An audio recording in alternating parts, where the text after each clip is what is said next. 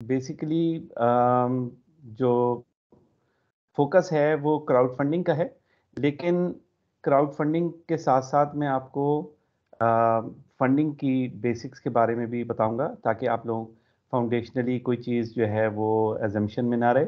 मेरे बारे में आप सब लोग जानते हैं तो इस पर टाइम लगाने की ज़रूरत नहीं है। ना ही आइडियाजिस को इंट्रोड्यूस करने की ज़रूरत है। तो लिहाजा सबसे पहले हम बात करते हैं कि जब इन्वेस्टमेंट एक स्टार्टअप में की जाती है तो कैपिटल कितने किस्म के उसमें इन्वेस्ट किए जा सकते हैं? तो आप लोगों में से कोई गैस कर सकता है कि कितने किस्म के कैपिटल होते हैं?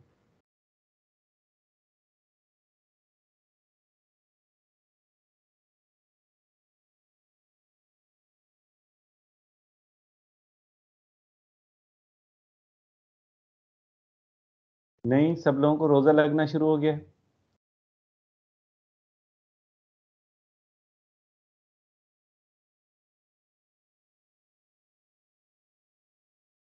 जी कहाफा बोले।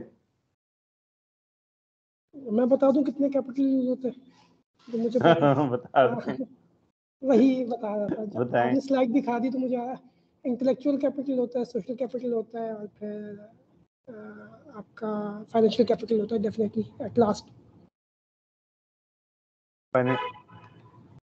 financial capital होता है, बिल्कुल। ये तीन किस्म के कैपिटल मिलकर स्टार्टअप के अंदर वैल्यू क्रिएट करते हैं। तो जब आप एक स्टार्टअप बनाते हैं तो उस स्टार्टअप के अंदर, और मैं भी आपको एग्जांपल दूँगा कि ये तीनों कैपिटल कैसे मिल के वैल्यू क्रिएट करते हैं। तो जब आप फंडिंग के लिए जा रहे होते हैं तो आप एक किस्म के कैपिटल को रेज करना चाह रहे होते हैं और वो है फाइनेंशियल कैपिटल ठीक है? मिसाल के तौर पे अगर आप एक इटालियन रेस्टोरेंट खोलना चाह रहे हैं, बिल्कुल सिंपल सी मैं आपको एग्जांपल देता हूँ। तो उसमें जो इंटेलेक्चुअल कैपिटल है, जो कंट्रीब्यूट होता है, उसमें मार्केट की अंडरस्टैंडिंग है नॉलेज है कुजीन की कि इटालियन कुजीन क्या है, कैसे पकती है, खाने कैसे पकते हैं, ये ये नॉलेज है। और एक अच्छे रेस्टोरेंट की एम्बियंस उसकी डिकोर वो कैसे नज़र आता है, उसके अंदर जो नॉलेज जाती है वो इंटीरियर डिज़ाइन की नॉलेज जाती है कि आप एक इटालियन एम्बियंस अगर क्रिएट करना चाह रहे हैं, एक अच्छा एक्सपीरियंस क्रिएट करना चाह रहे हैं तो ये एक इंटेलेक्चुअल कैपिटल है जो आप इन्वेस्ट कर रहे हैं उस रेस्टोरेंट में।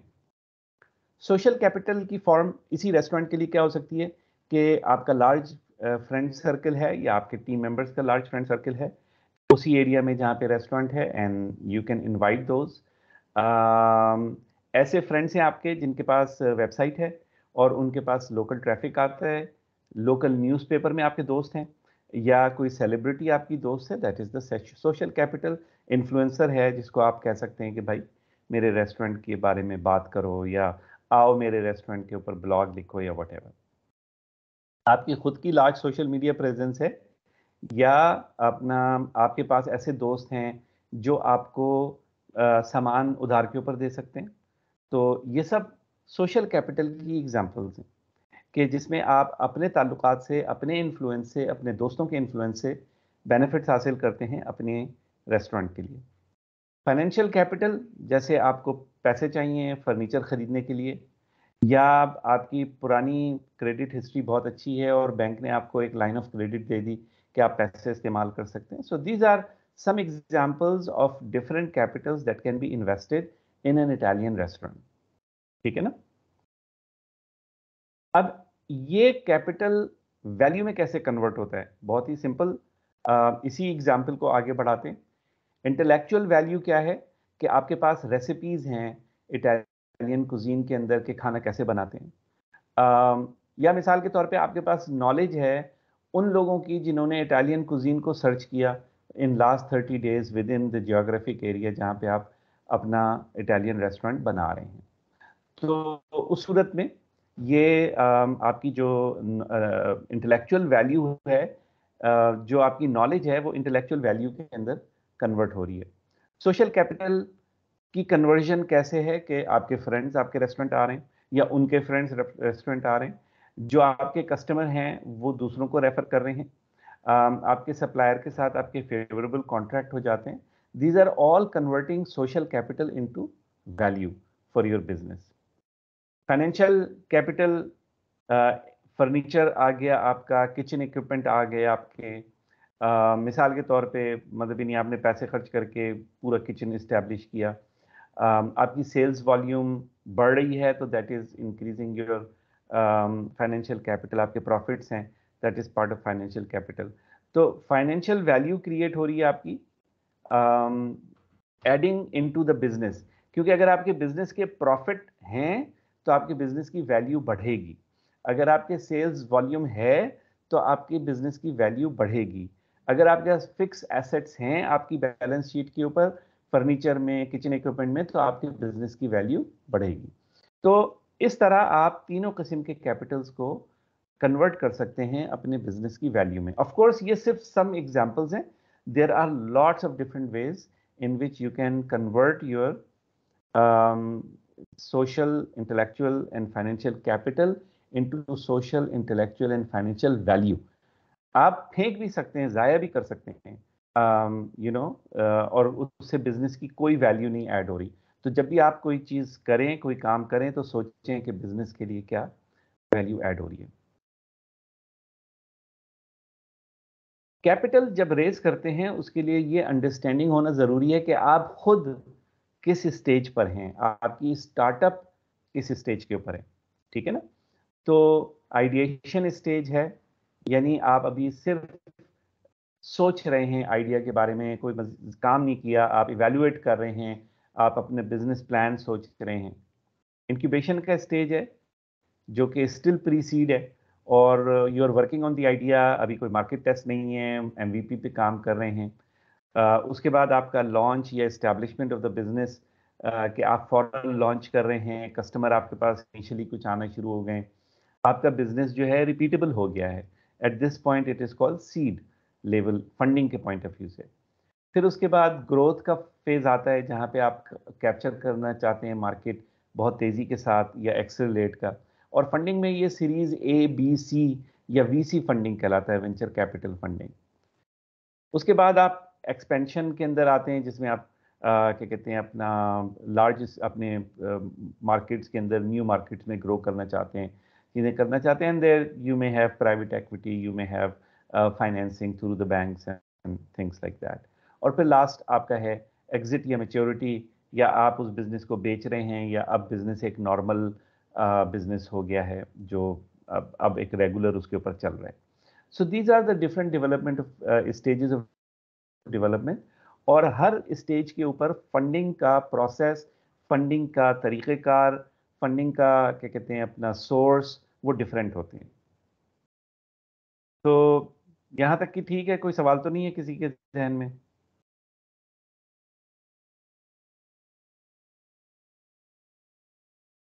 रिमशा में आवाज़ मेरी क्लियर है? जी सर आवाज़ क्लियर है। We may have a question from someone in the chat नाम नहीं लिखा हुआ उनका। There is a hand raised अच्छा हाँ बोले। बोले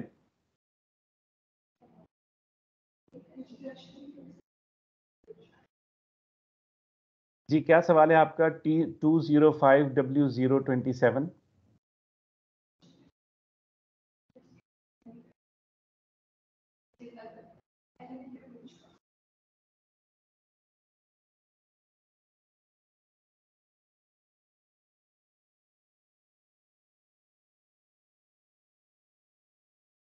sir maybe click हो गया हो। हाँ हो सकता है। उन्होंने दो दफ़ा अच्छा I think they got dropped और फिर दोबारा से कनेक्ट किया उन्होंने। अच्छा खैर तो हो सकता है गलती से हो गया हो ये। So let's keep moving guys आप वैसे चैट uh, के अंदर क्वेश्चन डाल सकते हैं और रिमशा आप प्लीज़ प्रॉम्प्ट कर दीजिएगा ठीक है? जी सर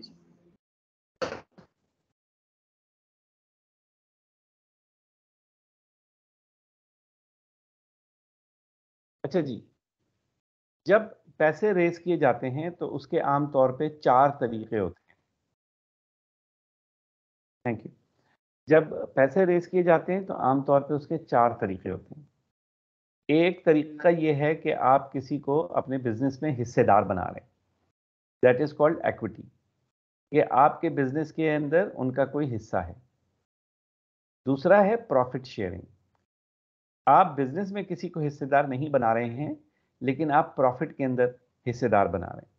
तो इसका मतलब ये है कि जब आपका प्रॉफिट होगा तो वो पैसे लेंगे आपसे, जो भी उनका हिस्सा होगा, लेकिन बिज़नेस के अंदर उनका हिस्सा नहीं होगा, यानी उनके पास बिज़नेस के अंदर आपके कंपनी के शेयर्स या आपकी कंपनी की लीगल जो ओनरशिप है, उसमें उनका कोई हिस्सा नहीं होगा। तीसरा तरीका डेट का, यानी पैसे बोरो करने का है। जिसमें आप बेसिकली या तो इंटरेस्ट हो या ना इंटरेस्ट ना हो, दोनों सूरतों में आपको वो पैसे वापस करने होते हैं। बाज़ सिचुएशन में उसका कोई इंटरेस्ट होता है, कोई प्रॉफिट होता है जो आप देते हैं और या जब तक कि आपने डेट लिया हुआ है, उस वक्त तक की प्रॉफिट के अंदर से एक हिस्सा देते हैं, और उसके बाद जब आपका डेट पूरा हो जाता है तो आपका लाइबिलिटी आपकी ख़त्म हो जाती है। लास्ट जिसको कि ग्रांट कहते हैं वो बेसिकली जैसे आप किसी कंपटीशन में गए और आपको प्राइज़ मिल गया या आपने गवर्नमेंट की किसी ग्रांट के लिए राइट किया या कोई नॉन प्रॉफिट ऑर्गेनाइजेशन सपोर्ट कर रही है स्टार्टअप्स को जैसे स्मीडा वाले आ, कुछ आ, आ, देते हैं grant to do certain things तो उसमें वो जो पैसे मिलते हैं आपको वो आपको वापस नहीं करने होते। ये फ्री पैसे हैं। डेट को या ग्रांट को दोनों को नॉन डाइल्यूटिव फंडिंग भी कहते हैं। इससे आपके बिज़नेस के अंदर जो आपका प्रॉफिट है वो डाइल्यूट नहीं होता, आपका हिस्सा डाइल्यूट नहीं होता। एक्विटी जो है वो डाइल्यूटिव फंडिंग है, जिसमें आपका हिस्सा डाइल्यूट होता है, कम होता है थोड़ा सा दूसरे को हिस्सा देने के लिए। ठीक है? तो ये मुख्तलिफ़ तरीक़े हैं कैपिटल रेज करने के। ये ज़रूरी नहीं है कि आप एक्विटी में ही शेयर करें और ये ज़रूरी नहीं है कि आप सिर्फ़ बोरो करें या प्रॉफिट शेयरिंग के ऊपर लें। All are valid depending on कि आपकी नीड्स क्या हैं, आपकी सिचुएशन क्या है और आपको कौन से इन्वेस्टर्स या फंडिंग अवेलेबल है। एग्जाम्पल्स के तौर पे डेट या बोरोइंग के अंदर बैंक से पैसे ले सकते हैं कस्टमर से एडवांस पैसे ले सकते हैं सप्लायर से क्रेडिट ले सकते हैं। मिसाल के तौर पे रेस्टोरेंट के लिए खाने पीने का सामान खरीदने के लिए, बजाय इसके कि आप अपनी जेब से पैसे दें, आप सप्लायर से क्रेडिट ले सकते हैं। या मिसाल के तौर पे आपको जो इक्विपमेंट लगाना है, उसके लिए आप बैंक से फाइनेंसिंग कर सकते हैं और बैंक बड़े आराम से उसके ऊपर फाइनेंसिंग इक्विपमेंट के ऊपर दे देता है। दूसरा है कन्वर्टेबल डेट ऐसा डेट ऐसी बोरोइंग जो बाद में एक्विटी में कन्वर्ट की जा सकती है। इसमें आप उस शख्स को या उस ऑर्गेनाइजेशन को जो आपको पैसे दे रहा है, उसको आप कहते हैं कि भाई एट अ लेटर स्टेज तुम्हारे पास ये ऑप्शन होगा कि तुम अपने डेट को एक्विटी में कन्वर्ट कर लो। एक्विटी तो सिंपल डायरेक्ट आपको शेयर्स दे रहे हैं आप। और लास्ट जो मेथड है क्राउड फंडिंग और क्राउड फंडिंग के अंदर भी चार मुख्तलिफ़ किस्म की क्राउड फंडिंग होती हैं। एक्विटी बेस्ड रिवॉर्ड बेस्ड और हम ये इनकी डिटेल में जाएँगे अभी। डेट या पीयर टू पीयर लैंडिंग और डोनेशन बेस और आप देख सकते हैं कि you know they also have some correspondence with our previous slide with the methods of raising capital ठीक है जी? यहाँ तक कि आपकी समझ में आ गया कि कैपिटल uh, रेज करने के क्या क्या तरीक़ेकार हैं? Sir, Irfan is asking if you can repeat that borrow and equity. Um, equity basically funding का वो मेथड है जिसमें आप आ, किसी को अपने बिज़नेस में हिस्सेदार बना रहे हैं। यानी अगर आपके बिज़नेस में सौ शेयर हैं तो आप उसको कुछ शेयर्स दे रहे हैं और वो आपके बिज़नेस में आपके साथ हिस्सेदार बन रहा है। वो नफ़े में भी आपके साथ है और नुकसान में भी आपके साथ है। ठीक है? तो that is called equity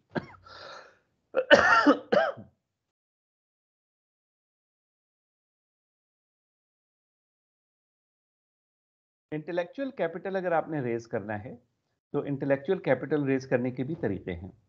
आप अपने साथ को फाउंडर्स लेकर आते हैं, जिनके पास नॉलेज हो, जिनके पास एक्सपर्टीज़ हो, वो चीज़ें जो आपके पास नहीं हो, या वो काम जो आप नहीं कर सकते हो, उसके लिए आप को फाउंडर्स ले आएँ and they add intellectual value to the company आप एडवाइजरी बोर्ड के अंदर ऐसे लोग ला सकते हैं, जिनके पास बेपना तजर्बा हो, जिनके पास कॉन्टैक्ट्स भी हों, और जो आपको गाइड भी कर सकते हों। तो एडवाइजरी बोर्ड के तौर पे भी आप इंटेलेक्चुअल कैपिटल अपनी कंपनी में ला सकते हैं। मेंटोर्स की सूरत में आपके पास इंटेलेक्चुअल कैपिटल होता है।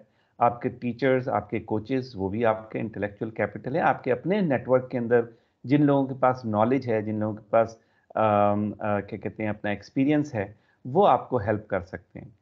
और आप इंटेलेक्चुअल प्रॉपर्टी लाइसेंस भी ले सकते हैं अपनी ऑर्गेनाइजेशन में इंटेलेक्चुअल कैपिटल लाने के लिए।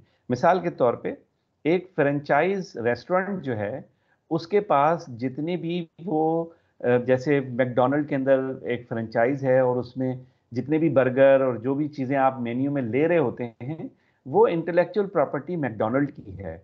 उन्होंने उस मेन्यू को, उस रेसिपी को डेवलप किया है और वो आपको लाइसेंस दे रहे होते हैं उनको बेचने का।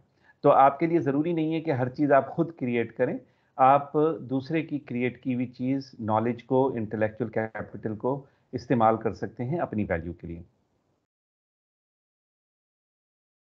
इसी तरह सोशल कैपिटल को रेज करने के लिए आप क्या कर सकते हैं कि आपकी अपनी सोशल मीडिया नेटवर्किंग है फैमिली एंड फ्रेंड्स और उनकी गैदरिंग है, उसमें जाके नेटवर्किंग इवेंट्स में जाके स्पेशल इंटरेस्ट ग्रुप्स को ज्वाइन करके स्पीकिंग अपॉर्चुनिटीज़ ढूंढ के लोगों को ट्रेन करके सेलिब्रिटीज़ uh, के साथ इंडोर्समेंट लेके you can raise social capital social capital जैसा मैंने आपको examples the basically are used either to reach the customer और टू रीच द इन्वेस्टर दो बेसिक चीज़ें हैं और आमतौर पे ये इनडायरेक्ट uh, होता है। मिसाल के तौर पे अगर सेलिब्रिटी ने आपको इंडोर्स किया या वो आपके बिज़नेस को उन्होंने रिव्यू किया या उन्होंने उसके बारे में ट्वीट किया वट तो उसका एकदम से आपको नहीं पता पड़ेगा कि कितने लोग उससे आ रहे हैं, क्या इन्वेस्टर आ रहा है या कस्टमर आ रहा है, किस तरह? But that would turn into long term जिसको आप कहें कि आपके बिज़नेस की अवेयरनेस आपके बिज़नेस का नाम, आपके ब्रांड का नाम, उससे जो है वो ज़्यादा लोगों के सामने आएगा। किस स्टेज के ऊपर कौन सा कैपिटल चाहिए होता है और कैसे? का, किस रास्ते से हमको ये कैपिटल चाहिए होता है? तो अगर हम आइडिएशन के फ़ेज़ में देखें तो हमें सोशल कैपिटल बेसिकली ये चाहिए कि हमारे फैमिली हमारे फ्रेंड्स हमें सपोर्ट कर रहे हैं। दैट इज़ वेरी इंपॉर्टेंट कि आप एक जर्नी पे इम्बार्क हो रहे हैं करने जा रहे हैं और आपके जितने भी दोस्त, अहबाब हैं, वो आपको सपोर्ट कर रहे हों। आपको क्या कहते हैं, अपना एक तरीके से आपको टॉन्ट नहीं कर रहे हों, आपको परेशान नहीं कर रहे हों, आपको डिस क्या कहते हैं, हार्ट नहीं कर रहे हों, बल्कि आपको स्ट्रेंथ दे रहे हों, आपको पॉजिटिवली सपोर्ट कर रहे हों। तो ये आपको सोशल कैपिटल चाहिए होता है। इंटेलेक्चुअल कैपिटल के अंदर आपको कोई मेंटोर्स, आपको को फाउंडर्स और आपको नॉलेज गेन खुद भी करनी पड़ेगी। तो अच्छी खासी अपने लिए लर्निंग आपने क्रिएट करनी पड़ेगी कि जो भी काम आप करने जा रहे हैं, उसके बारे में यू हैव डीपर नॉलेज अगर नहीं है तो। क्योंकि अगर आपको डीपर नॉलेज नहीं है तो आपका जो आइडिया है, जिस पे आप काम कर रहे हैं, वो शायद उसकी थिंकिंग फ्लॉड हो।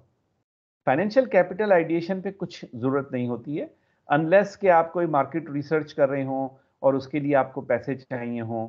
और वो भी ज़रूरी नहीं है you can access market research in many different ways और आप किसी कंपनी को हायर करने के बजाय थोड़ा बहुत खुद से भी आ, काम कर सकते हैं।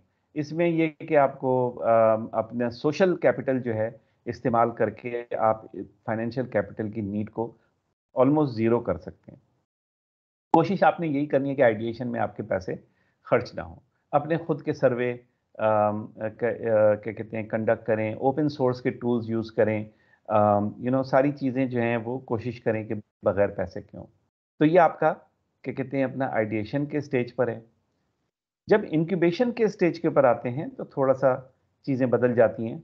सोशल कैपिटल में आपको सपोर्ट सर्कल बड़ा करना पड़ता है। जो पोटेंशियल कस्टमर्स हैं, उनके साथ दोस्ती बढ़ानी पड़ती है, उनसे अपने ताल्लुक बढ़ाने पड़ते हैं।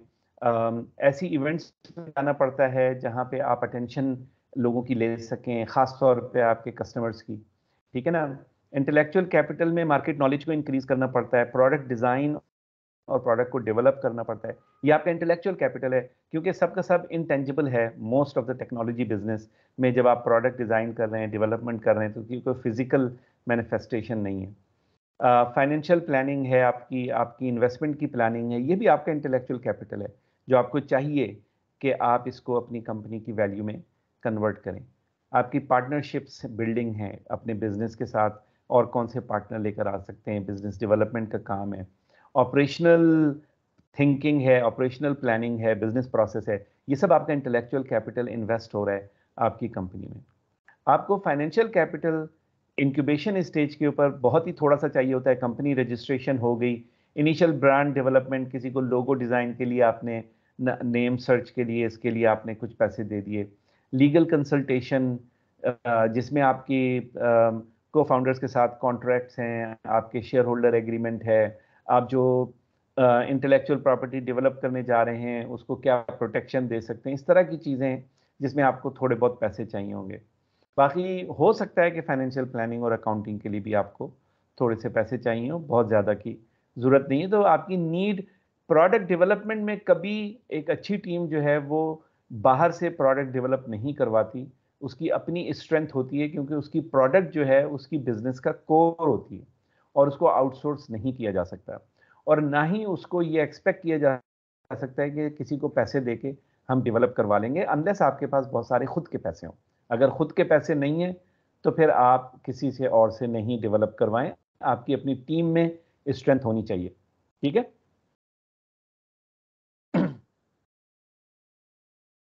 लॉन्च के स्टेज के ऊपर आपका फोकस कस्टमर हो जाता है।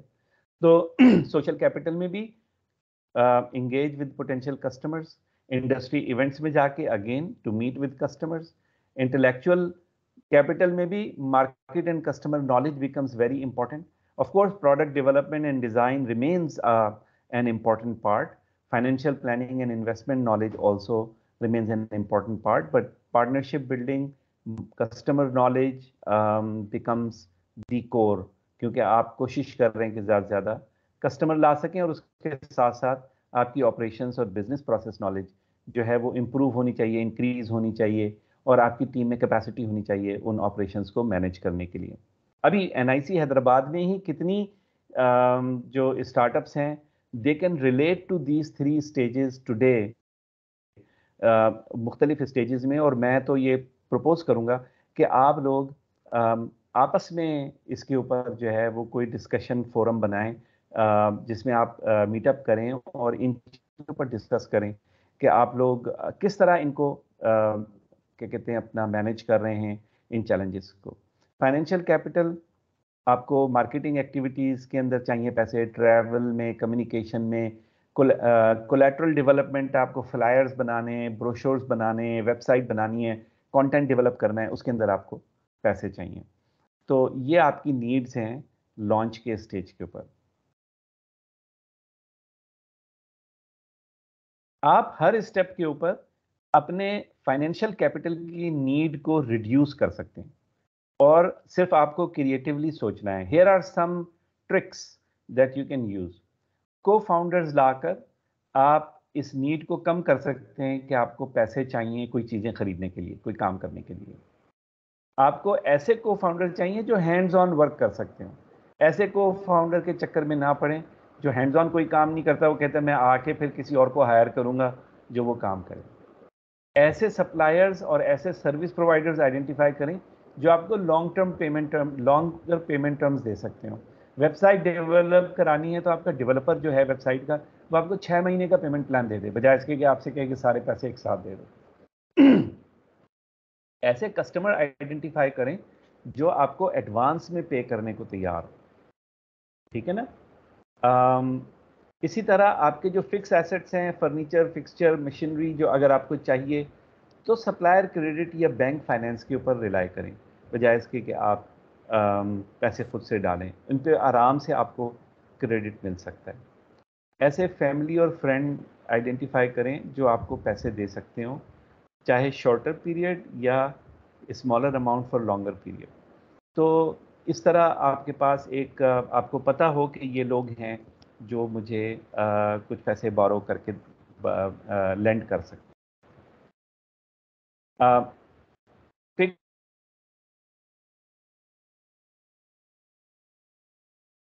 इंस्टेड ऑफ़ बिल्ड मुख्तलिफ़ तरीकों से आप जो सोच रहे हैं कि मुझे पैसे चाहिए, उनकी नीड को कम किया जा सकता है। अच्छा जी, यहाँ तक तो था सारा आपका फंडिंग की बेसिक्स इसमें किसी का कोई सवाल है? अब हम क्राउड फंडिंग के अंदर डाइव करेंगे। लेकिन इससे पहले मैं लेट मी फाइंड आउट कि अगर लोगों का कोई सवाल है तो मैं उसको एड्रेस कर लूँ पहले।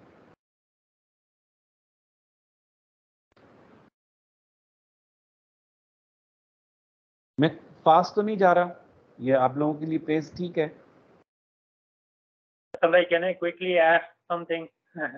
जी जी बेसिकली uh, मुझे सिर्फ़ थोड़ा सा ये अंडरस्टैंड करना था कि अभी आपने कहा कि जहाँ पे डेट बोरोइंग वर्सेस इक्विटी का मेरा सवाल ये था कि अभी आपने कहा कि एक में uh, जो आपकी है वो वैल्यू डाइल्यूशन हो रही होती है। तो इसको जरा नहीं वैल्यू नहीं डाइल्यूशन हो रही। ठीक है आप जी सवाल थोड़ा सा क्लियर कर देंगे थोड़ा इसके डाइल्यूशन का कैसे ये कॉन्सेप्ट आपने कुछ खास बोले वो मिस आउट हो गया मुझसे तो मैं समझा नहीं। नहीं नहीं बिल्कुल बहुत ही अच्छा सवाल है। और this is one of the most important aspect of funding fund raising is के जो एंटरप्रनोर हैं वो एक्विटी डाइल्यूशन को सही तरीके से समझे। तो what is equity equity is the share holding in the company ठीक है? एक कंपनी के कुछ शेयर्स होते हैं और एक कंपनी की कुछ वैल्यू होती है। कंबाइंड टुगेदर इज़ एक्विटी मिसाल के तौर पे आपके कंपनी के 100 शेयर हैं और आपकी कंपनी की वैल्यू 10 मिलियन रुपए है। ठीक है? तो इसका मतलब ये हुआ कि आपका एक शेयर जो है वो एक लाख रुपए का है। So, thinking of equity is always a combination of number of shares and the value. मिसाल मैं आपको देता हूँ कि एक कंपनी है, उसके एक मिलियन शेयर हैं और उसकी वैल्यू एक ज़ीरो है। ठीक है?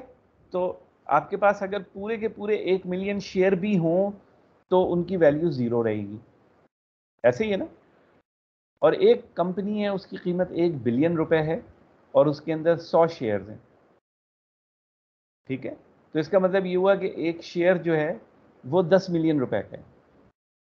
तो आप लोग कभी भी अपनी एक्विटी को इंडिविजुअली नंबर ऑफ़ शेयर्स या परसेंटेज के ऊपर कभी भी ना देखें। Always look at the value तो आप कहें कि मेरी कंपनी की वैल्यू आज 10 मिलियन रुपए है, उसमें से 20 परसेंट एक्विटी मेरी है। तो मेरी जो, क्या कहते हैं, अपना की है, वो दो लाख रुपए की है। लेकिन अगर इसी कंपनी की वैल्यू को हम बढ़ा के सौ मिलियन रुपए पे ले जाएँ तो मेरी बीस परसेंट एक्विटी बीस मिलियन रुपए हो जाएगी। राइट या मेरी एक्विटी अगर कम होके दस परसेंट ही रहेगी और हम कंपनी की वैल्यू सौ मिलियन रुपए पे ले गए तो हमारी, मेरी जो वैल्यू अभी एक मिलियन रुपए है, वो दस मिलियन रुपए हो जाएगी। यानी मेरी वैल्यू कंपनी के अंदर दस गुना बढ़ जाएगी। तो डाइल्यूशन ये होती है कि आपके पास आज 100 शेयर हैं, जब आप किसी इन्वेस्टर को लेकर आएँगे और उसको अगर 20 शेयर दे देंगे तो आपके 80 रह जाएँगे। सो दैट इज़ डाइल्यूशन या आपके पास क्या कहते हैं, अपना कंपनी के अंदर एक मिलियन शेयर हैं, आपने अपने आप को पाँच लाख शेयर दिए हुए हैं और आप एक और इन्वेस्टर को लेकर आते हैं, उसको एक लाख शेयर दे देते हैं। तो आपकी परसेंटेज डाइल्यूट होगी। टोटल जो आपके शेयर इशू हुए थे, उसके अंदर आपकी परसेंटेज डाइल्यूट होगी। डाइल्यूशन का ये मतलब होता है। यानी you are adding something extra that means कि आपके पास जो परसेंटेज के अंदर वैल्यू है, वो कम होगी। लेकिन कंपनी की जो वैल्यू है, उसमें आपकी वैल्यू कम नहीं होती। कंपनी की वैल्यू तो आपने बढ़ानी है, उससे आपकी वैल्यू बढ़नी चाहिए। अगर आपकी कंपनी की वैल्यू नहीं बढ़ रही तो आपने कोई आप वैल्यू ऐड नहीं कर रहे। जैसे मैंने एग्जांपल दी थी ना you have to do things that add value to your company ठीक है? ये हो गया इरफान समझ आ गई आपके? Excellent excellent thank you so much perfect okay जी मूसा आपका क्या सवाल है?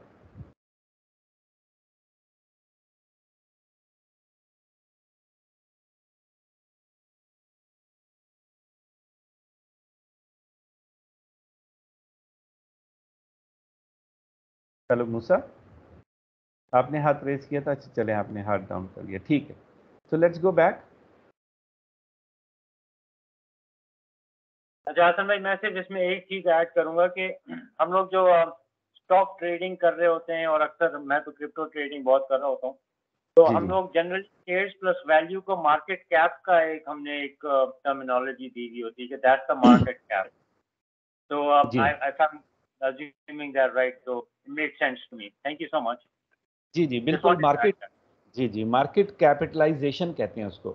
मतलब ये कि इन्वेस्टर्स ने और सबने मिल के तो फ़र्ज़ करें कि 10 मिलियन रुपए इन्वेस्ट किए लेकिन आज कंपनी की शेयर की वैल्यू मार्केट के अंदर जो है अगर उसको हम देखें तो टोटल 100 मिलियन रुपए बनती है। तो गो के पैसे तो 10 मिलियन गए हैं लेकिन मार्केट कैपिटलाइजेशन 100 मिलियन की है। तो जो इस्टेब्लिश कंपनीज़ होती हैं, उनकी कोशिश होती है कि उनकी मार्केट कैपिटलाइजेशन बढ़ती जाए, ताकि उनकी जो कंपनी जो है, उसकी स्ट्रेंथ बढ़ती जाए और उससे शेयर होल्डर्स को फ़ायदा होता है। अच्छा जी। अब हम आ जाते हैं क्राउड फंडिंग के ऊपर। क्राउड फंडिंग एक बहुत ही जिसको आप कहें, बड़ी ब्लेसिंग है आज के दौर में एंटरप्रनोर्स के लिए। और crowd funding basically engaging a lot a large number of people और organizations to invest in your company हम कुछ जा रहे होते हैं एक इन्वेस्टर के पास, दो इन्वेस्टर के पास that is basically traditional investment तो हमारे पास दो, चार, पाँच, दस इन्वेस्टर हैं that is nothing when you go fifty hundred two hundred people become an investor in your company five hundred people thousand people ten thousand people that is crowd funding crowd funding चार किस्म की होती है। Equity based जिसमें आप crowd को share दे रहे होते हैं अपनी कंपनी रिवॉर्ड बेस जिसमें आप कोई रिवॉर्ड दे रहे होते हैं। और अभी हम इनके डिटेल बात करेंगे। डेट बेस यानी आप लोन ले रहे होते हैं, इनको पीयर टू पीयर लैंडिंग भी कहते हैं। कि आप क्राउड से लोन ले रहे हैं। और लास्ट ग्रांट या डोनेशंस कि आप क्राउड से कह रहे हैं कि जी मुझे पैसे दो, मैं, क्या कहते हैं, अपना एक अच्छा काम करने जा रहा हूँ, ये जा रही हूँ So these are four basic types of crowdfunding. Now, we will go in each type of crowdfunding and we will look into कि वो क्या है, कैसे होती है, कौन से प्लेटफॉर्म्स हैं उसके लिए, और आप किस तरह उसको प्लान कर सकते हैं अपने लिए। एक्विटी क्राउड फंडिंग बेसिकली एक मेथड है रेजिंग कैपिटल का, जहाँ पे इन्वेस्टर पैसे देते हैं और उसके बदले में आप उनको शेयर्स देते हैं और a percentage of ownership in the company ठीक है ना? तो आप कहते हैं, जी, मैं टेन परसेंट शेयर के ऊपर ये पैसे रेज कर रहा हूँ या ट्वेंटी परसेंट के ऊपर ये वट इस क्राउड फंडिंग के अंदर जो इन्वेस्ट एंटरप्रनोर को फ़ायदा होता है कि कोई एक सिंगल इन्वेस्टर नहीं होता, जो आपको ज़्यादा निगोशिएट कर सके स्ट्रांगली और आपके पास एक बड़ा पूल होता है इन्वेस्टर का और जो आपकी फॉलो ऑन फंडिंग में भी आपके लिए फ़ायदेमंद होते हैं। और उससे क्या कहते हैं, अपना जो इन्वेस्टर्स हैं, उनको फ़ायदा ये होता है कि उनका रिस्क मिनिमम हो जाता है। थोड़े थोड़े पैसे दे के बहुत सारे लोग होते हैं। तो ओवरऑल रिस्क लोगों का बिल्कुल मिनिमम होता है। भाई हज़ार हज़ार डॉलर पाँच पाँच सौ डॉलर या सौ सौ डॉलर लोगों ने डाले हुए अब अगर वो सौ डॉलर डूब भी गया आपकी कंपनी में तो nobody is you know becoming poor because of that ठीक है? तो इनको um, और उसमें होता ये है कि आमतौर पे एक एक्साइटमेंट uh, होती है। स्टार्टअप के जो काम होता है जो वो करने जा रहे होते हैं वो कितना इंटरेस्टिंग है, उसके हिसाब से इन्वेस्टर इंटरेस्टेड होते हैं। Equity based crowd funding securities and exchange commission के अंडर काम करती है और उसकी रेगुलेशंस हैं, उसकी कुछ वजूहत हैं। Security and exchange commission Pakistan में भी है, अमेरिका में भी है और तकरीबन तकरीबन क्या हर मुल्क के अंदर होता है। जिसका काम होता है ये इंश्योर करना कि जो लोग पब्लिक के पास जा रहे हैं पैसे लेने के लिए, उनके पास एक साउंड प्लान है और वो खाली लोगों को बेवकूफ़ बनाने के लिए पैसे नहीं रेज कर रहे हैं। इस वजह से सिक्योरिटीज़ एंड एक्सचेंज कमीशन जो है, वो इसके अंदर इन्वॉल्व होता है। एक्विटी बेस्ड क्राउड फंडिंग जो है, वो बहुत रिसेंट चीज़ है और इसके लिए अमेरिका के अंदर, मिसाल के तौर पे जॉब्स एक्ट टू थाउज़ेंड के अंदर आया तो इतनी ज़्यादा पुरानी बात नहीं है जिसमें एक्विटी क्राउड फंडिंग को अलाउ किया गया। उससे पहले आप सिर्फ़ और सिर्फ़ रेगुलेशन रेगुलेटेड सिक्योरिटीज़ आप रेज कर सकते थे और उसके लिए बहुत ही टफ प्रोसेस था। तो वो स्टार्टअप्स कर ही नहीं सकती थी। तो ये एक जिसको आप कहें कि रिसेंट ट्रेंड है और बहुत सारे ममालिक के अंदर अब एक्विटी क्राउड फंडिंग जो है वो अलाउ है। मुझे एक सेकंड दे मैं नेटवर्क स्विच कर रहा हूँ ताकि चीज़ें थोड़ी सी बेहतर हो जाएँ।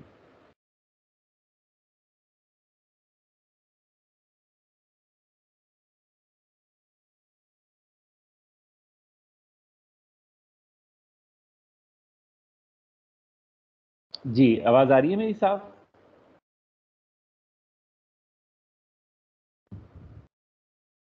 जी, सर, बिल्कुल। अच्छा वेरी गुड अच्छा जी तो ये एक्विटी क्राउड फंडिंग है। एक्विटी क्राउड फंडिंग बेसिकली दो किस्म के इन्वेस्टर के ऊपर मुश्तमिल होती है। और एक जो एक्रीडिएटेड इन्वेस्टर कहलाते हैं और दूसरे जो नॉन एक्रीडिएटेड इन्वेस्टर कहलाते हैं। एक्रीडिएटेड इन्वेस्टर के ऊपर सिक्योरिटीज़ एंड एक्सचेंज कमीशन जो है, उसकी आमतौर पे कोई मेजर प्रॉब्लम नहीं होती। What is an accredited investors and why there is a separation between accredited and non-accredited investor. Accredited investor जो है, वो बेसिकली वो शख्स होता है जिसके पास बहुत सारे पैसे होते हैं। और वो जब इन्वेस्टमेंट कर रहा होता है तो उसको अच्छी नॉलेज होती है इन्वेस्टमेंट के बारे में। और एक्रीडेटेड इन्वेस्टर की डेफिनेशन मुख्तलिफ़ कंट्रीज़ के अंदर प्रोवाइड की जाती हैं। जो ये बताती हैं कि आप अगर इस किस्म के बंदे के पास जा रहे हैं तो you you don't need to take any permission from any ठीक है? तो एक्रीडिएटेड इन्वेस्टर जैसे अमेरिका के अंदर वो हैं जिनकी फैमिली इनकम तीन लाख डॉलर से, साल से ज़्यादा है। या इंडिविजुअल इनकम ढाई लाख डॉलर या दो लाख डॉलर कुछ ऐसे ही उससे ज़्यादा है। They are called accredited investors और या वो लोग जिनकी टोटल नेटवर्थ जो है वो दो मिलियन डॉलर से ज़्यादा है तो वो एक्रीडिएटेड इन्वेस्टर कहलाते हैं। ये क्यों किया गया है कि वो लोग जिनके पास ज़्यादा पैसे हैं, वो अफोर्ड कर सकते हैं पैसे लूज़ करना। उनको प्रॉब्लम नहीं है कि अगर उन्होंने दस, बीस हज़ार डॉलर पच्चीस हज़ार, पचास हज़ार डॉलर लूज़ कर दिए it's not a big deal लेकिन अगर एक गरीब आदमी है जिसकी लाख डॉलर पचास हज़ार डॉलर साल की टोटल इनकम है और उसने कहीं पच्चीस हज़ार डॉलर लगा दिए तो वो बेचारा तो उसके लिए तो बहुत बड़ी रकम है ये। तो उनको नॉन एक्रीडिएटेड इन्वेस्टर कहते हैं। जब शुरू में stock market early late nineteen hundred में अर्ली नाइनटीन सेंचुरी में uh, और फिर अर्ली ट्वेंटी सेंचुरी में स्टार्ट हुई थी तो बहुत सारे लोगों को लोग बेवकूफ़ बनाते थे स्टॉक मार्केट के नाम के ऊपर। और बेशुमार गरीबों ने जो है ना अपने पैसे लूज़ किए स्टॉक मार्केट के स्कैम्स में। जिसकी वजह से ये ये बेसिकली इसकी हिस्ट्री है this is the historic background जिसकी वजह से ये लिमिट लगाई गई कि अगर आप स्टॉक एक्सचेंज के ऊपर जा रहे हैं तो आपकी जो रेगुलेटरी रिक्वायरमेंट हैं, वो बहुत सख्त हैं। और अगर आप, क्या कहते हैं, अपना स्टॉक एक्सचेंज में नहीं हैं तो आप पब्लिक से पैसे नहीं मांग सकते। ये इसका बैकग्राउंड ठीक है? तो पाकिस्तान में भी ऐसे ही है। पाकिस्तान के अंदर भी एक डेफिनेशन है एक्रीडिएटेड इन्वेस्टर की जो कि नॉलेजेबल है, जो कि पढ़ा लिखा है, जिसके पास पैसे हैं। और नॉन एक्रीडिएटेड इन्वेस्टर आम पब्लिक है। तो एक्विटी क्राउड फंडिंग के अंदर अगर आप सिर्फ़ एक्रीडिएटेड इन्वेस्टर्स के पास जा रहे हैं तो आपको कोई स्पेशल परमिशन की ज़रूरत नहीं है।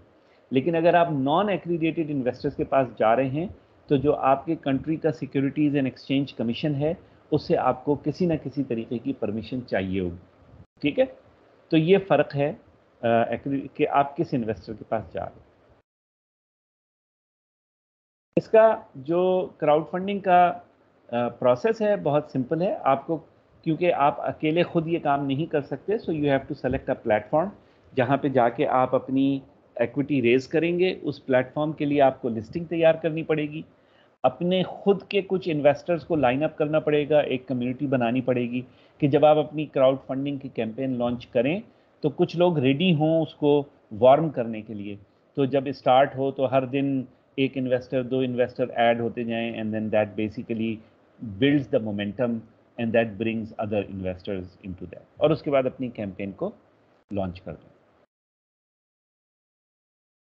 जो कॉमन प्लेटफॉर्म है फ़ेमस एक्विटी क्राउड फंडिंग के, उसमें एंजल लिस्ट है one of the oldest one SeedInvest है रिपब्लिक है स्टार्ट इंजन है वी फंडर है. इसके अलावा और बेशुमार हैं ये तो मैंने सिर्फ़ टॉप आपके सामने लिस्ट किए इसमें सीड इन्वेस्ट और रिपब्लिक सिर्फ़ एक्रीडिएटेड इन्वेस्टर्स के साथ डील करते हैं and they already have a large pool of accredited investors लेकिन उसके लिए आपका यूएस में होना ज़रूरी है दे फोकस ऑन यूएस तो ये आपके पास एक्विटी क्राउड फंडिंग के प्लेटफॉर्म है। ये चारों के चारों पाँचों के पाँचों जो हैं वो यूएस के ऊपर यूएस बेस्ड हैं। पाकिस्तान के अंदर कोई एक्विटी क्राउड फंडिंग प्लेटफॉर्म नहीं है इस वक्त। पाकिस्तान की सिचुएशन ये है कि पाकिस्तान में एक्विटी क्राउड फंडिंग अभी तक की अलाउ नहीं है। लास्ट ईयर या एक 2021 के अंदर securities and exchange commission Pakistan ने ए, एक सैंडबॉक्स के अंदर एक प्रोजेक्ट स्टार्ट किया था। पी के नाम से। और वो प्रोजेक्ट जो है डिफंक्ट है, उसमें कोई एक्टिविटी नहीं है और इस वक्त कोई एक्विटी क्राउड फंडिंग का प्लेटफॉर्म पाकिस्तान में एग्जिस्ट नहीं करता। अगर आपने एक्विटी क्राउड फंडिंग करनी है तो your company your startup shell register outside Pakistan.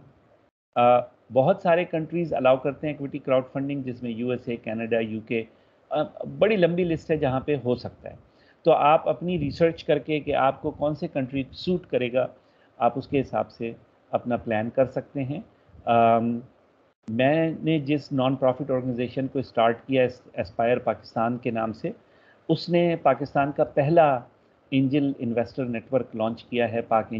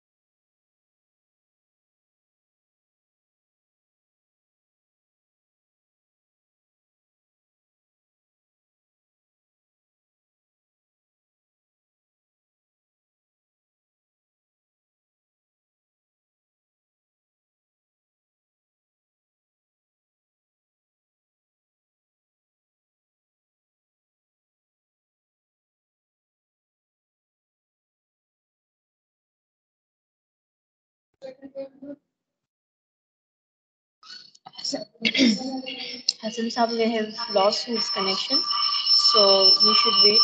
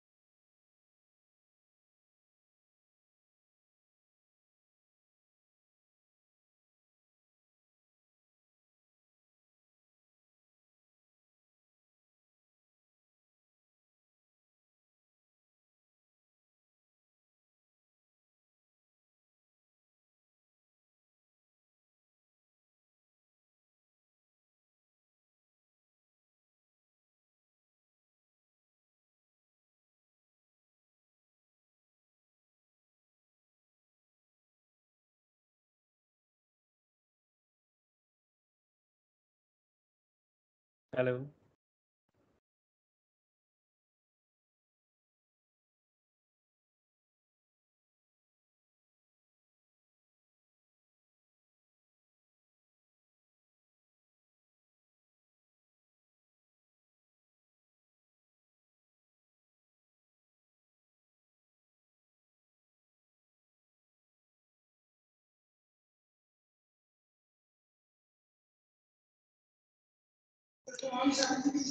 Izhar please check कीजिएगा सर को।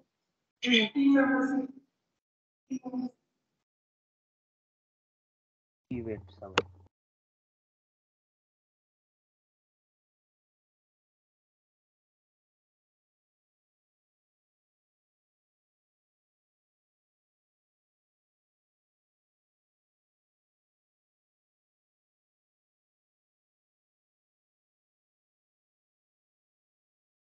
sorry guys. Can you hear me? आवाज़ आ रही है मेरी आप लोगों को? जी सर अच्छा। सॉरी इंटरप्शन का बस ये इंटरनेट डाउन हो गया था। दोबारा से मैं स्क्रीन शेयर करता हूँ आपके साथ।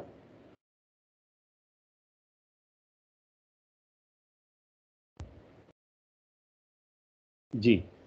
आपको नज़र आ रही है मेरी स्क्रीन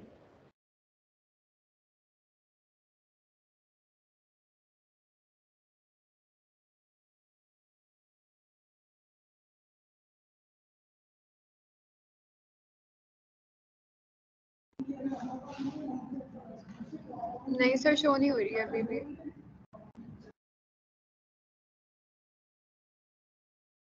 जी। आ, मेरी आवाज़ आ रही है? मेरी स्क्रीन नज़र आ रही है आपको?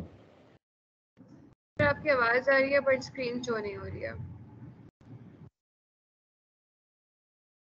Okay, now it's showing.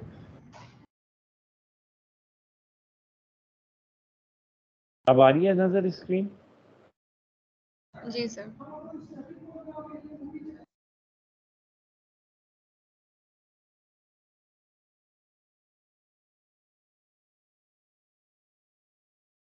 अच्छा तो ये एक्विटी क्राउड फंडिंग है this is you know equity crowd funding आप लोगों के कुछ सवालात एक्विटी क्राउड फंडिंग के हवाले से हैं।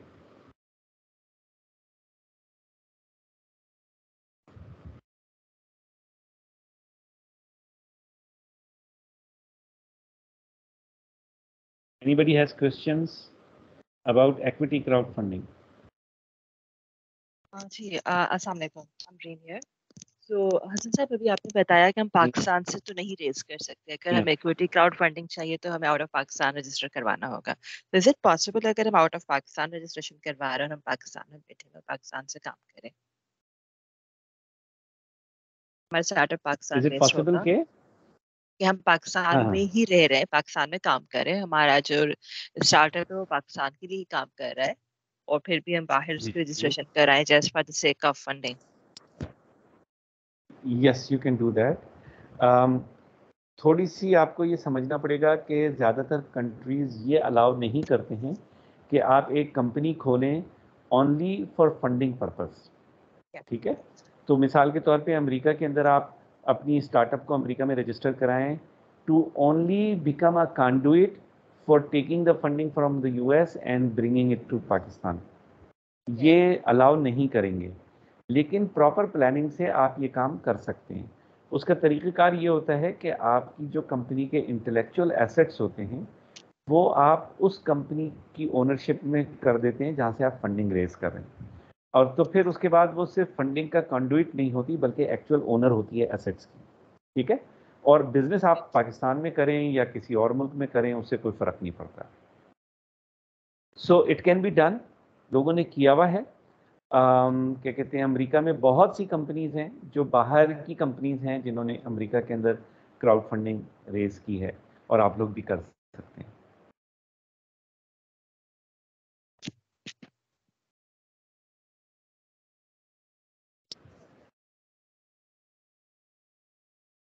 Any other question?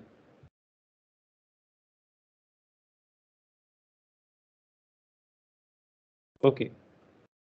So let's get into the next, which is reward-based crowdfunding, which is also most interesting and most probably one of the most successful stories. Um, the first website that started reward-based crowdfunding was Kickstarter. आप लोगों में से किसी ने Kickstarter का नाम सुना है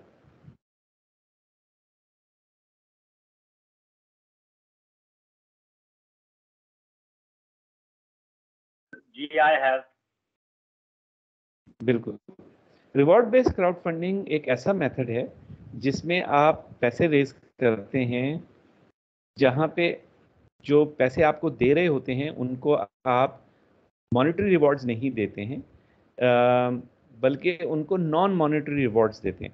मिसाल के तौर पे आप एक आपने एक नया फ़र्ज़ करें कि नई किस्म की एक डिवाइस बना लिए, फ़र्ज़ करें एक नया म्यूज़िक प्लेयर बना लिया। तो आप उनको रिवॉर्ड के अंदर अपने पहले सौ प्लेयर्स दे रहे हैं, या आप उनको स्पेशल एडिशन प्लेयर्स दे रहे हैं, या फ़र्स्ट बैच आपका जो है वो उनको दे रहे हैं, और उस पर लिखा हुआ होगा कि specially produce blah blah blah तो उनको एक ऐसी वैल्यू मिल रही है जो इनटेंजिबल है कि जी मैं पहले सौ में शामिल हूँ जिसको ये डिवाइस मिली। मैं आपको मिसाल देता हूँ, इसकी बहुत ज़्यादा, क्या कहते हैं, अपना जो जो इंथुजियास्ट होते हैं, उनके लिए बड़ी वैल्यू होती है। डेल ने जब एप्पल आईफोन से पहले की बात बता रहा हूँ, उससे पहले पी होते थे पर्सनल डिजिटल असिस्टेंट के नाम से। उसमें फ़ोन नहीं होता था। तो टच स्क्रीन वाले भी होते थे पी और नॉन टच स्क्रीन वाले भी होते थे। तो डेल ने पहला जो पीडीए फ़ोन निकाला। That was a phone and a PDA जो कि बिगिनिंग कह लें आप स्मार्टफोन्स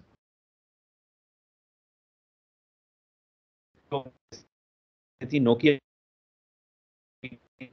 नोकिया नाइन थाउज़ेंड के नाम से। तो उस वक्त डेल ने निकाला तो एक एक्साइटमेंट थी सारे टेक्नोलॉजी के लोगों को, मुझे भी थी। तो उसकी एक विंडो थी जिसके अंदर उन्होंने कहा कि भाई हम इनिशियल ऑर्डर के ऊपर जिन लोगों को देंगे सो so, मैं जिस जिस लम्हे उसके ऊपर ऑर्डरिंग स्टार्ट होनी थी मैं बैठा हुआ था और मैंने उसके ऊपर क्लिक किया and I was the second person who got that PDA phone in Canada तो मैं बड़ा एक्साइटेड था मैंने कहा ये दूसरा मतलब that was the second order they received तो इसकी ये जो एक्साइटमेंट आप दे रहे होते हैं that basically is you know part of this reward crowd funding इसमें क्रिएटर्स हैं जैसे म्यूजिशियंस हैं आर्टिस्ट um, हैं um, और मूवी uh, मेकर्स हैं एंटरप्रनोर्स हैं स्मॉल बिजनेसेस हैं वो सब इसके अंदर अपने आइडियाज़ की सपोर्ट uh, के लिए पैसे रेज कर सकते हैं without giving up their equity तो उनको नाइन नॉन डाइल्यूटेड है ये इसमें आपको एक्विटी नहीं देनी होती। आमतौर पे ये कैंपेन्स ऑनलाइन प्लेटफॉर्म्स के ऊपर लॉन्च होती हैं जहाँ पे प्रोजेक्ट के जो क्रिएटर्स हैं, वो अपने फंडिंग गोल्स ऑफ़र कर, बताते हैं और रिवॉर्ड बताते हैं मुख्तलिफ़ किस्म के और पोटेंशियल बैकर्स के साथ फिर इंगेज करते हैं और फिर उसको वो बैकर्स जो हैं, वो उन रिवॉर्ड्स के बदले में उनको पैसे देते हैं। इसका तरीक़ार सिंपल ये है कि आपको प्लेटफॉर्म सेलेक्ट करना है, अपनी लिस्टिंग ख़ास तौर पे लिस्टिंग के अंदर आप रिवॉर्ड्स क्या क्या दे रहे हैं। बहुत इंपॉर्टेंट है। उसके साथ आपकी स्टोरी अच्छी होनी चाहिए। आपकी जो जो आप करने जा रहे हैं it should have a feel good factor अपनी कम्युनिटी बिल्ड करें खुद की पहले, जो बैक करे आपके क्या कहते हैं अपना क्राउड फंडिंग कैंपेन को, ताकि जब आप क्राउड फंडिंग कैंपेन स्टार्ट करें तो ऐसा नहीं हो कि कई कई दिन गुजर गए और उसके ऊपर कोई आके बैकर्स नहीं आ रहे। You have to build the momentum so you have to have your own community of backers फिर अपनी इनिशियल कमिटमेंट्स आइडेंटिफाई करें अपने बैकर्स में से कि आपके कितने दोस्त, कितने अहबाब, कितने आपके नेटवर्क में जो लोग हैं वो कमिट करने को तैयार हैं। जब आपके पास ये सब आ जाए तो उसके बाद आप कैंपेन लॉन्च करें। आमतौर पे रूल ऑफ़ थम ये है कि अगर आप सौ डॉलर रेज करना चाह रहे हैं तो आपके पास तीस डॉलर के इनिशियल बैकर्स पहले से मौजूद होने चाहिए, जिन्होंने पहले से इनिशियल कमिटमेंट की हो। तो that basically shows the rest of the people on that platform कि भाई ये एक विनिंग आइडिया है। इसके ऊपर लोग बैक कर रहे हैं then other people will follow ठीक है? तो आपके पास अच्छी खासी जो है वो बैकर्स um, की जो तादाद है वो मौजूद होनी चाहिए। और फिर आप उसको लॉन्च करें। रिवॉर्ड क्राउड फंडिंग प्लेटफॉर्म में नंबर वन तो किक स्टार्टर ही है। इंडिगो गो भी है। अच्छा Indiegogo equity crowd funding भी ऑफ़र करता है और क्या कहते हैं रिवॉर्ड क्राउड फंडिंग भी ऑफ़र करता है। किक स्टार्टर सिर्फ़ रिवॉर्ड क्राउड फंडिंग ऑफ़र करता है। क्राउड क्यूब है सीड इन्वेस्ट रिवॉर्ड भी ऑफ़र करता है, और क्या कहते हैं, अपना एक्विटी भी ऑफ़र करता है, और फिर फंडेबल है। तो इस तरह करके और भी प्लेटफॉर्म्स हैं। पाकिस्तान में रिवॉर्ड क्राउड फंडिंग का कोई प्लेटफॉर्म नहीं है। Again that's a you know missing element in our ecosystem लेकिन ये सारे के सारे crowd funding platform US based हैं। आई थिंक सीड इन्वेस्ट जो है वो यूके भी है कि स्टार्टर शायद यूके भी है। मुझे अभी याद नहीं है इंडिगो गो का भी शायद यूके वर्जन है। पाकिस्तान में कोई रिस्ट्रिक्शन नहीं है रिवॉर्ड क्राउड फंडिंग पे। एक्चुअली पूरी दुनिया में रिवॉर्ड क्राउड फंडिंग पे कोई रिस्ट्रिक्शन नहीं है। आ, पाकिस्तान में लेकिन रिवॉर्ड क्राउड फंडिंग का कोई प्लेटफॉर्म नहीं है। अगर आपने पाकिस्तान में रिवॉर्ड क्राउड फंडिंग करनी है तो आपने अपनी कैंपेन खुद रन करनी होगी and that will be very expensive तो अगर आपको किसी और मुल्क के अंदर अपनी रिवॉर्ड क्राउड फंडिंग रन करनी है then you have to have a legal entity in that country in order to run the reward crowd funding campaign ठीक है? तो आपको अमेरिका में अगर करनी है तो आपको अपनी कंपनी अमेरिका में खोलनी पड़ेगी। यू कैन डू दैट ये कोई बड़ा मसला नहीं है। but you have to do it in order to run these campaigns in the US और इन यूके और एल्सवेयर कोई सवाल रिवॉर्ड बेस्ड क्राउड फंडिंग के बारे में आपको मज़ीद एग्जांपल्स चाहिए अब या आ, इतना काफ़ी है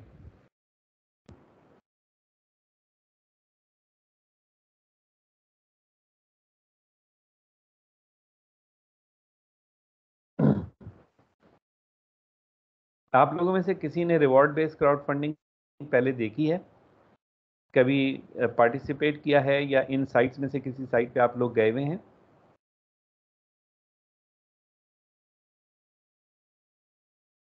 Uh, sorry, I interrupt. Raising hand takes a little bit longer.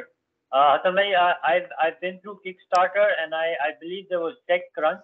Uh, पे I think you can list your companies and then uh, find some resources uh, with reference to crowdfunding.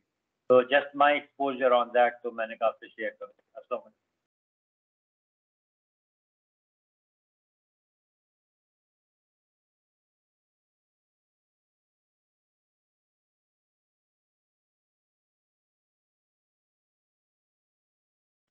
अच्छा take crunch जो है वो एक database है जहाँ पे startups की इंफॉर्मेशन और इन्वेस्टर्स की इंफॉर्मेशन डिफरेंट इकोसिस्टम्स के अंदर होती हैं जो है वो रिवॉर्ड बेस्ड है। मैं आप सब लोगों को सजेस्ट करूँगा कि आप सब लोग किक स्टार्टर पर जाएँ और किक स्टार्टर पर जाके आप लोग उसको देखें किक स्टार्टर डॉट कॉम और उसमें देखें किस तरह की कैंपेन्स चल रही हैं, कौन सी कैंपेन्स हॉट हैं, उनमें क्या हो रहा है।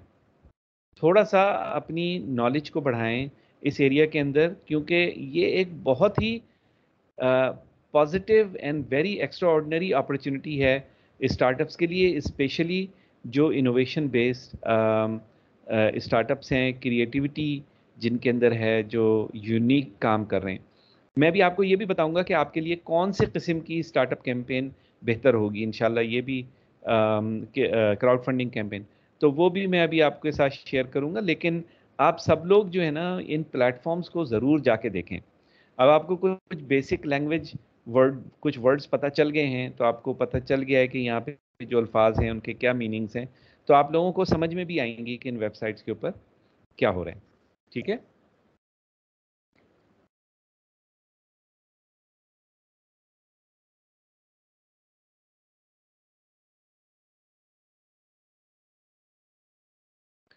अच्छा मेरी स्क्रीन नज़र आ रही है आप लोगों को?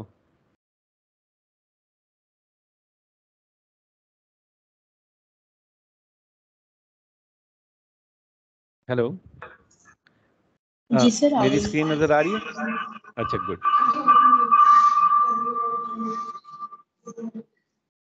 ओके तीसरा जो क्राउड फंडिंग का तरीक़ाकार है वो डेट बेस्ड क्राउड फंडिंग है।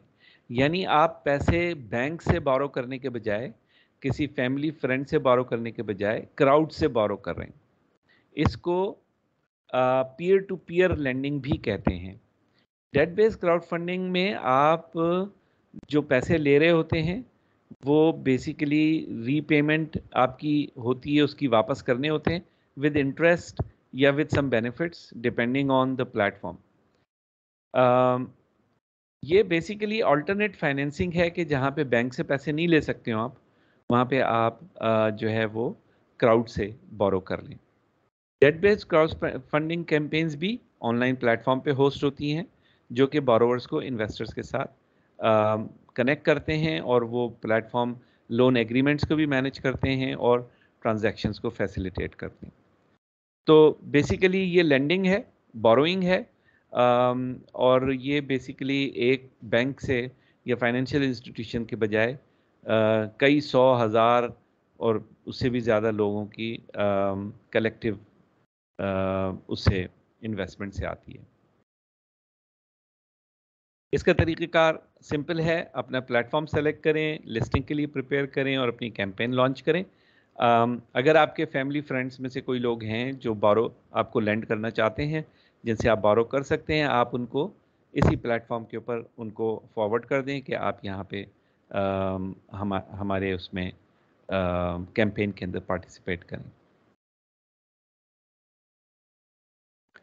Common most famous Lending Club है प्रॉस्पर है अपस्टार्ट है सोफाई है कीवा है। कीवा की एग्जांपल ऐसी है कि कीवा जो है वो एक impact based lending peer to peer lending है। तो ये कोशिश करते हैं कि दुनिया के गरीब ममालिक में ऐसी जगहों पे जहाँ पे लोगों को मुश्किल है, वो क्या कहते हैं, अपना थोड़े थोड़े पैसे, दस हज़ार, बीस हज़ार डॉलर रेज करके और अपने स्मॉल बिजनेसेस को आगे बढ़ा सकें। इन तमाम प्लेटफॉर्म्स की इंपॉर्टेंट बात यह है कि ये प्लेटफॉर्म किसी स्पेसिफिक जुरिस्डिक्शन में काम करते हैं। अगेन ज़्यादातर यूएस के प्लेटफॉर्म्स हैं। मुझे नहीं पता कि कीवा के अलावा अगर और जो प्लेटफॉर्म्स हैं वो और कंट्रीज़ को सपोर्ट करते हैं या नहीं करते हैं। ये आप लोग ख़ुद जाके देख सकते हैं। और यहाँ पे जब आप कोई लेकर आते हैं कोई भी डील इधर तो आपको अपनी कंपनी और अपने पर्सनल जो एसेट्स हैं और उसके बारे में अच्छी खासी नॉलेज देनी पड़ती है। तो जैसे बैंक के ऊपर जब आप कर्ज़ा लेने जाते हैं तो अच्छी खासी वो आपसे, आपके पर्सनल फाइनेंसेस और उसके हवाले से आपसे सवाल करते हैं। तो इसी तरह ये लोग भी सारा डेटा लेते हैं, ताकि जो इनके लेंडर्स हैं, वो डिसीशन ले सकें आपके बारे में, क्योंकि वो आपको देख रहे होते हैं, जब पैसे दे रहे होते हैं तो।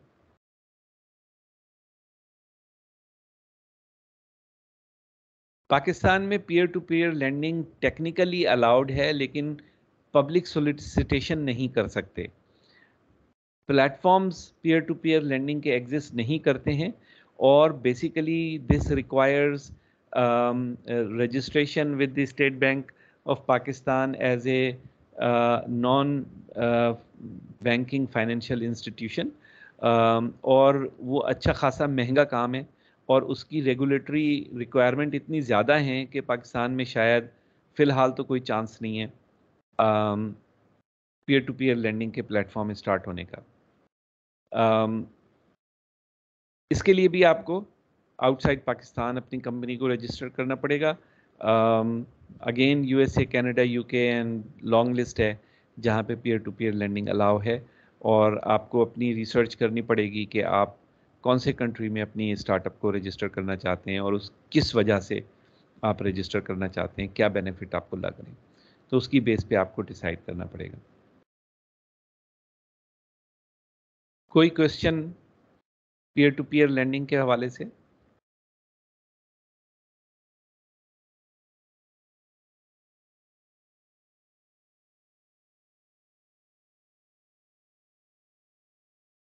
नो no क्वेश्चन अब लोग थक गए हैं। काफ़ी सारी नॉलेज मैंने कंप्रेस करके एक सवा घंटे में आप लोगों तक पहुंचाई है।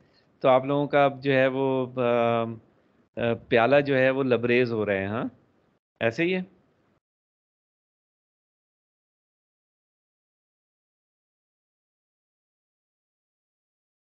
या अभी है आप लोगों में हिम्मत?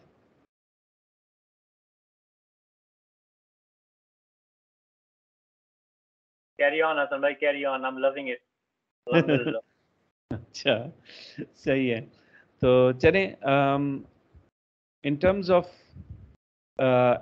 लास्ट जो हमारा है डोनेशन बेस्ड क्राउड फंडिंग उसमें कोई बहुत ज़्यादा डिटेल uh, नहीं है क्योंकि donation based crowd funding basically similar to reward based crowd funding कोई ज़्यादा फ़र्क नहीं है। सिर्फ़ फ़र्क ये है कि donation are raise on a personal basis तो जो इसमें मोस्ट फ़ेमस प्लेटफॉर्म है वो Go Fund Me dot com है और उसमें आप एज अ पर्सन जाते हैं फंडिंग डोनेशन रेज करने के लिए। पाकिस्तान में अगेन कोई डोनेशन का प्लेटफॉर्म नहीं है और पाकिस्तान के अंदर donation campaigns in other countries आप रन नहीं कर सकते।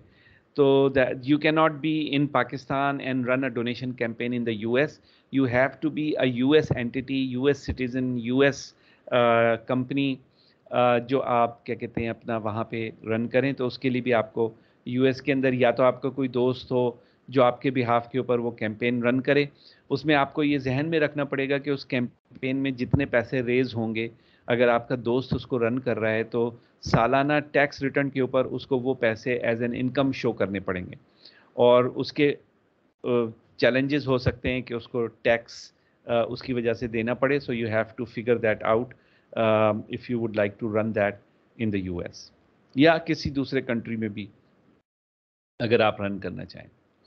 तो ये डोनेशन बेस्ड क्राउड फंडिंग है, बिल्कुल बेसिक है। अच्छा जी। आपने प्लेटफॉर्म कौन सा सेलेक्ट करना है? It's a major question for everyone कि हम किस उसमें जाएँ। तो सबसे पहले तो आपके प्रोजेक्ट की नेचर क्या है? आपका प्रोजेक्ट हाईली इनोवेटिव है या ट्रेडिशनल है? या आप किस टाइप का, क्या कहते हैं, अपना प्रोडक्ट बना रहे हैं? क्या आपका प्रोडक्ट कोई फ़िज़िकल डिवाइस है? क्या आपका प्रोडक्ट कोई वेबसाइट है? क्या आपका प्रोडक्ट कोई गेम है? तो प्रोडक्ट प्रोजेक्ट की नेचर क्या है? ये इंपॉर्टेंट है क्योंकि मुख्तलिफ़ प्लेटफॉर्म्स और मुख्तलिफ़ क्राउड फंडिंग के मॉडल्स ज़्यादा बेहतर किसी ख़ास किस्म के प्रोजेक्ट्स के लिए होते हैं। नंबर टू आपका फंडिंग का मॉडल क्या है? आप एक्विटी में जाना चाह रहे हैं डेट में जाना चाह रहे हैं रिवॉर्ड में जाना चाह रहे हैं। फिर आपने देखना है कि प्लेटफॉर्म की फ़ी क्या है। प्लेटफॉर्म की रेपुटेशन कैसी है? कितने प्रोजेक्ट्स उस प्लेटफॉर्म के ऊपर पहले रजिस्टर हुए हैं?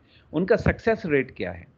ठीक है? कि कितने परसेंट प्रोजेक्ट जो हैं सक्सेसफुल हुए हैं? उनके ऊपर कितने लोग हैं? कुछ प्लेटफॉर्म किक स्टार्टर ह्यूज और कुछ प्लेटफॉर्म का सिर्फ़ नीच फोकस है। तो वो नीच फोकस क्या है? कुछ प्लेटफॉर्म सिर्फ़ गेम्स के लिए हैं। अगर आपका गेम्स है, आप एक नीच फोकस में जा सकते हैं। पुराने जो कैंपेन है या उनके जो साइट की जो ज, जिस तरह उसको इस्तेमाल किया जाता है वो यूज़र एक्सपीरियंस अच्छा है बुरा है। पेमेंट ऑप्शंस क्या हैं? डिपेंडिंग कि आपकी क्या सिचुएशन है। और किस तरह की कम्युनिटी है और वो क्या सपोर्ट प्रोवाइड करते हैं? तो ये सारे क्वेश्चन आपने you have to ask yourself and you have to look at all the platforms and then you have to decide कि मैं इस platform this platform is going to be best for me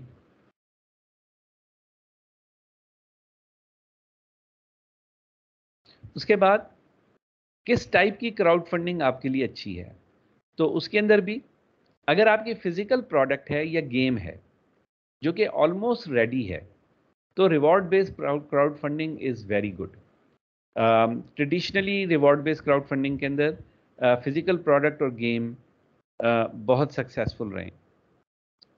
ऐसा नहीं है कि software product successful नहीं रही हैं कुछ सक्सेस स्टोरीज सॉफ्टवेयर प्रोडक्ट्स की भी हैं, लेकिन ज़्यादा बड़ी स्टोरीज जो हैं वो फ़िज़िकल प्रोडक्ट की, या गेम्स की।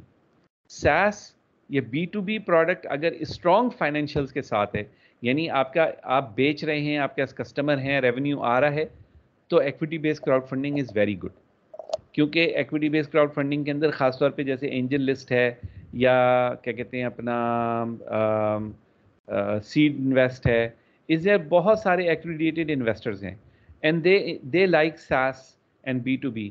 Consumer B2C वाले इन्वेस्टर कम होते हैं और उसके लिए आपको अच्छी खासी ट्रैक्शन दिखानी पड़ती है ठीक है अगर आपकी प्रोडक्ट का एक बहुत अच्छा सोशल एस्पेक्ट है और वो फंक्शनल है तो आप रिवॉर्ड बेस्ड जा सकते हैं कि एक आप काम कर रहे हैं अच्छा काम कर रहे हैं और उसके ऊपर आप लोगों को लोग फील कर रहे हैं कि आपका काम बहुत अच्छा है, उससे दुनिया को फ़ायदा पहुँच रहा है and they go for it strong social cause आप डोनेशन पे जा सकते हैं, अगर बहुत ही स्ट्रॉन्ग सोशल कॉज है, या रिवॉर्ड के ऊपर रह सकते हैं।